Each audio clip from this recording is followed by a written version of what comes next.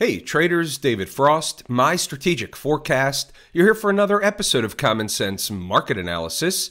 Today is Tuesday, September 12, 2023. We're looking at a daily chart of the SPY or Spider, which is the proxy for the S&P 500. What do we have on the docket today? Well, we had what's called a pullback day. Today was labeled as a turn day. We talked about it last week. We talked about it in the live room several times that today slash tomorrow could be a turn period for the market. Now, we have to qualify that. Does that mean it turns today down like it did and it keeps going for 17 days in a row? No, that's not what it means. We could certainly go down further. We're going to talk about the numbers, the important places, and what happens if. But what we also have to do is keep in mind this is quadruple witching options expiration week, where weird stuff happens, regular way options expiration. We also have the CPI data release on Wednesday morning at 8:30 a.m. Eastern Standard Time. What does that mean? That means that Whoever puts out that number, some government agency puts out the number, and then everybody goes wild about what the number means. Is it good? Is it bad? Is bad news good news? Good news bad news? What's the Fed going to do? Let's send the market in X direction. So, therefore, it creates opportunity for traders. How so? Because we don't guess at what the market's going to do based on the number. What we do is we take what the market is doing based on the number. We find the important numbers on the chart and we can affect the trade accordingly from an intraday perspective. That's what we do. We do that inside the numbers, we do that in the live room in real time. Everybody has the numbers before the market even opens. We'll get to that stuff a little later. Let's go back to the daily chart. What's the important place on the chart? We're going to call it 445. Write this down, put it on a sticky note. If she starts to get below from an intraday perspective, 445, closes candles below, all that stuff, it's going to open the door for the lows that was already a test of the breakup candle low. There's your breakup candle low. We already had a successful test. If they come back down, it's first time, best time, not second time, best time. If they give it up, if they start closing daily by chance below that area where the arrow is pointed to, you must be prepared for another leg lower. We talked about it in the live room today. We talked about it in the live room yesterday. We're going to expect two way markets most of this week. We certainly got one today. We'll get to the intraday stuff in a few moments. So let's not be surprised if they pull the rug out a little bit on CPI. Let's not be surprised if they pop the tape a little bit on CPI. You have a lot of traders trading the intra week and same day expiration options. They're certainly wreaking havoc and issuing pies in the face to those folks. Those same day expirations are like taking a walk in quicksand. You either have to get across quick or you're going to sink if you're wrong even for a couple of hours. You can be right on the trade, wrong in the option. From where I sit, those tend to be a market maker's best friend. We certainly have some traders in the live room trading those intraday options or same day expiration options. However, you have to know your numbers, you have to take your profit. We're trained to do that in the live room. I don't recommend you try that at home by yourself. Putting things in perspective, peering back a little bit, taking a long view, the weekly chart, nothing's happened. They're just eating time off the clock from a weekly chart perspective. The intraday stuff from a weekly chart perspective is mainly in the category of nonsense. Even the monthly chart is eating time off the clock in a pullback bullish, flaggish, kind of pullbackish situation. However, a lot can happen intra month. You can't trade off a monthly chart other than a long term position type of trade. That's not really a trade, that's more of an investment type of situation. Let's use today's activity as a learning opportunity before we get over to inside the numbers. Here's a 240 chart, aka a four hour chart. Here's a breakdown candle. So, what did the market do today? it ran up to run a test of the breakdown candle high and was summarily rejected. How many times have we seen that before? About as many times as we see him spike the low and rip it back up in the other direction, our favorite live trading room trading opportunity. Within the morning rush hour, might I add. Two hour chart shows you the same thing breakdown candle. They ran up to run a test of the high. They could not get above and stay above. They just peaked their head above and therefore were summarily rejected. That is natural overhead resistance on the first time, best time situation. This was yesterday from a first time, best time situation. They were still rejected. Back up today to fill a gap left open and rejected again. Let's check out inside the numbers. What did we have today? I'm going to point out a few important things. You can read the notes, go back to the chart, and double check the work. Volatility is a trader's best friend. That's item number one. We're looking for movement. We have an early pivot at 447.80. Why is that important? Well, we think better in pictures. Right of the vertical is today's activity. And you can see here the market opened below 447.80. It got there. It was summarily rejected at the pivot. We did have some traders short from that place in the live room inside the numbers. They did a little dance in front of it. However, we certainly had plenty of what's called participation.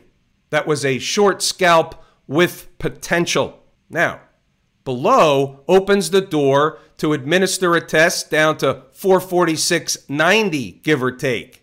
Let me repeat that 446.90, give or take. As you can see, they hit that one right around the opening bell. I was looking personally for a little bit lower, but we certainly had some participation taking the ride up toward the pivot once they found support at 446.90. All provided before the opening bell. In fact, we had some traders that took the notes from inside the numbers, the pre market commentary, and they actually bought the market at that number in the pre market. I don't necessarily advocate that, but you could do what you want with the numbers. Below opens a door for yesterday's low, 446.47, and the gap left open at 445.50 down to 445 that was on the board yesterday. And the flip side, we have the door opening for the flat line around 448.50. There's your 445.50 down at the bottom into the end of the day. And there's your midday run up to 448.50 to fill the gap. They did them both. We talked about it in the live room today. I said they were going to fill at least one of those gaps, if not both, today or certainly this week. Let's see what else we have as the day gets underway. Let's see what we have at about 9:09. What's the scoop for the morning rush? Well, they're leaking and hovering just above 446.90, which is an important number and a gateway to yesterday's lows and lower. So what we're saying here is spike the low, suck in the shorts, and rip it back up in the other direction. 446.47 was that low. This was the first of two spike the low and rip it back up in the other direction trades. You see what happened at 446.47. They came into it, they spiked it, and what did they do? They ran right back up to the 446.90. That was an exit point for inside the numbers and live room members. That's a scalp with potential, turns into a base hit. We'll take base hits all day long. Why? Because they put you in the hall of fame. All laid out before the opening bell. Pause the video, read the notes, go back to the chart to double check the numbers. There it is in the spirit of knowing the numbers. 445.35. If they got below that, 444 and a quarter was the next place down. 445.35 is uber important. Low of day, 445.39. So right out of the chute, 446.90 is important. You saw that already. 447.80 is the pivot. It's overhead resistance until it's not. Closing candles above opens the door for the next thing, which they did later on. By 947, those traders that shorted the pivot slash overhead resistance would take a scalp portion of the trade off and book profit. Holding a trailer is fine. They did give you a double, a Whopper Jr., whatever you wanted out of that one. We had some traders in the live room wrote it all the way down for a Whopper slash Whopper Junior. 447.82 high against 447.80. Funny how that works. Remember, pause the video, read the notes, go back to the chart, and double check the work. It's all in here.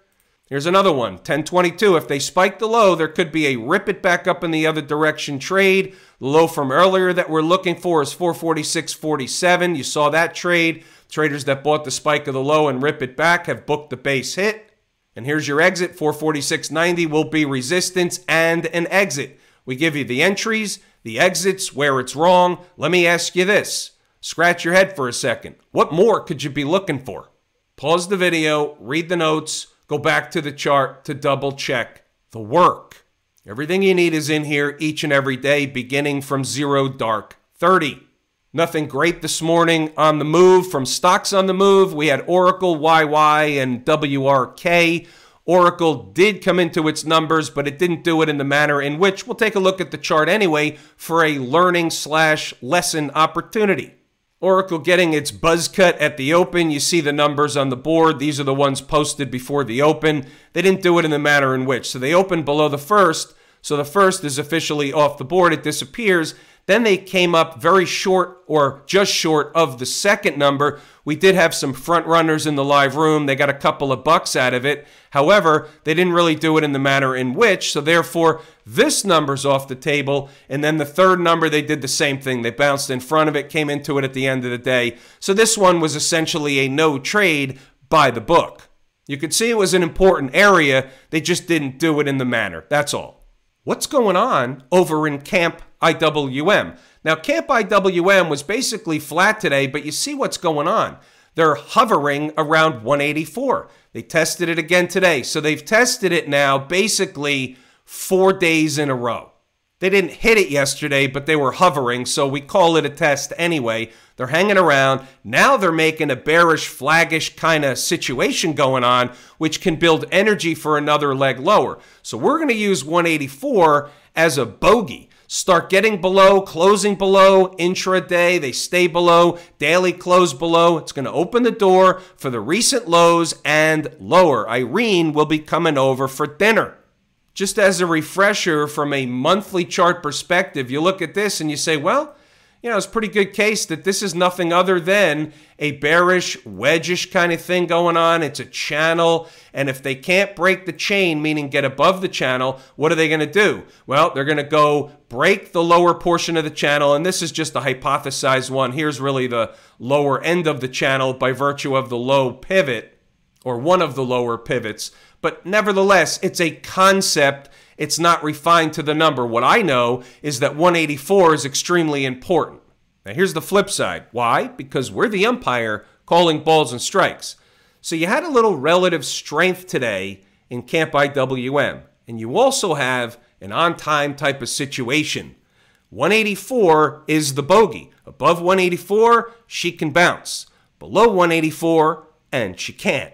Leave it at that. What about the folks down at the transportation department? Buttigieg's crew. Another weekday, basically on par with the S&P, down about half a percent. But you see what's going on here. They're hovering over the 100 period moving average. It diminishes the importance of the 100 period moving average. Had they come into it on Friday, for example, it would have a different meaning from a chart and trading perspective than it does now. Now, if they come into it, it's been diminished. We're looking for 15,000 as an important number slash place in team transports anyway. Maybe a little below 15,000, but that's a big fat round number. And there's a reason why we talked about last week. We'll go over it real quick. So the market runs up to this place. This is just around 15,000. It isn't able to get through. It pulls back. It breaks out above. She's coming back to run a test. And we can even call this a breakout box. Maybe they don't stop right at 15. But if you look at this and say, well, this area here is certainly garden variety and bona fide support. This is a breakout area. Below 15,000, you have the 200 period moving average looming down here about another 300 points or so lower. So somewhere in that zone is garden variety of chart support. Put that on a sticky note. And if you're running out of sticky notes, buy them in bulk. What about the Q people? Relative weakness today against the S&P. The Q people were down over 1% while the S&P was down about half a percent. Now keep in mind, they never ran a test of the breakup candle low. This one right here, they came up short before, so if they're breaking this low, that's the next place of importance. The actual low is 366.23, so we'll call it 366 give or take. That's the area they can test certainly, and if they close below that area, that's a warning signal flare up in the air. Two way action this week during quad witching options expiration, regular way weird stuff happens week. How about the financials? They were up today. So you have the tale of a couple or three different tapes today.